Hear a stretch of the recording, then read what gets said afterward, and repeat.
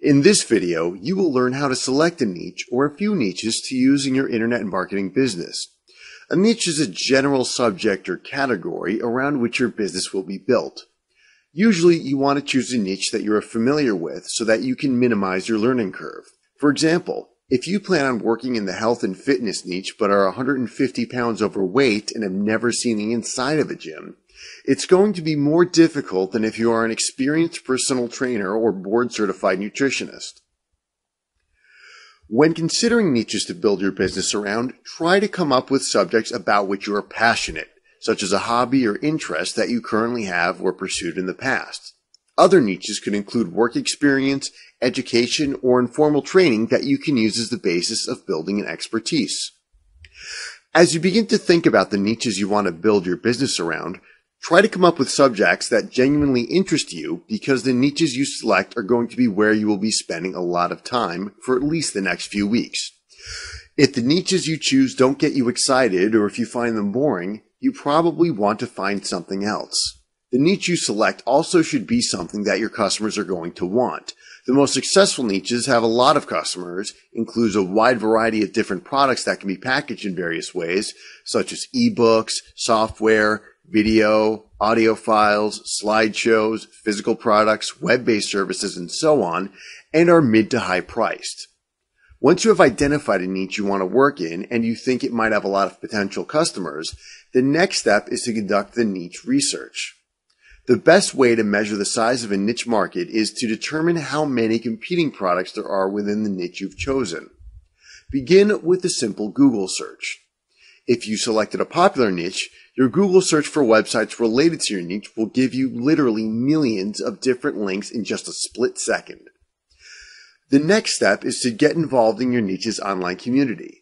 Start by going to websites where digital product developers and marketers buy and sell new products and interact with other marketers such as Warrior Forum, Digital Point, JVZoo, and ClickBank.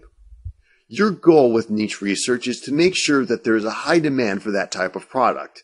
If there already are a lot of other products being offered for sale in that niche on these sites, it's a good bet that there's a large customer demand.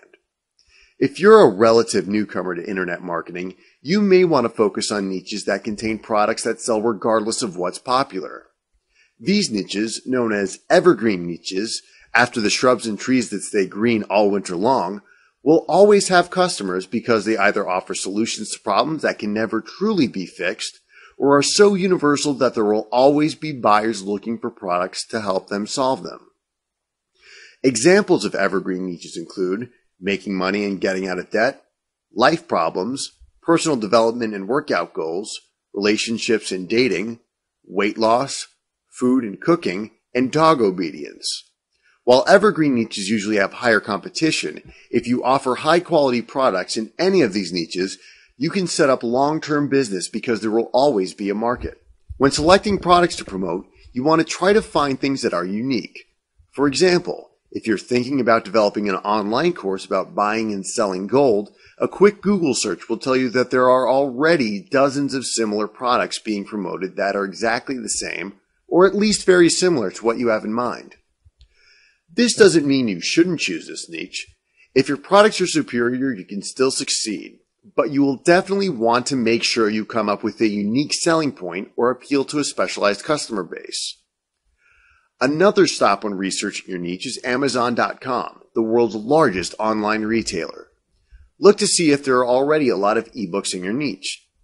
Amazon also provides a lot of helpful information, such as how many other similar products are already in the marketplace, which are the most and least popular, and what price range you can expect to set your info product. Now we are going to go through an exercise that will help you select a great niche. When you're generally looking forward to talking with other people about a particular niche, that excitement is infectious and inspires customers to trust them. The best way to create a successful online business is to find something that you will happily spend your days talking about. To do that, we are going to do a little self-examination. Take out a sheet of paper and answer the following questions as quickly and as honestly as you can. Don't take too much time or think too hard about the answers.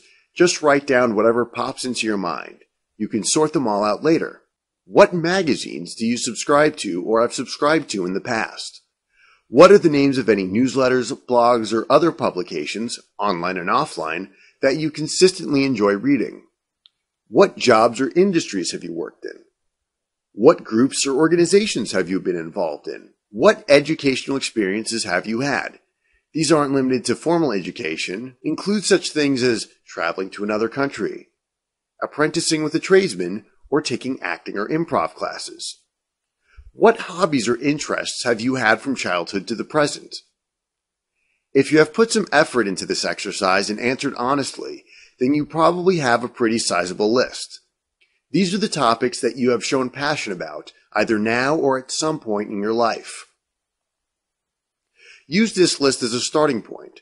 Spend a few minutes and boil it down to the top five that you think would be good niches for you. These are the niches in which you should base your online marketing business. I hope you enjoy what you learned today. Check back weekly for updated videos and lessons, or better yet, subscribe by clicking on this link now to get more of these educational videos as they come out.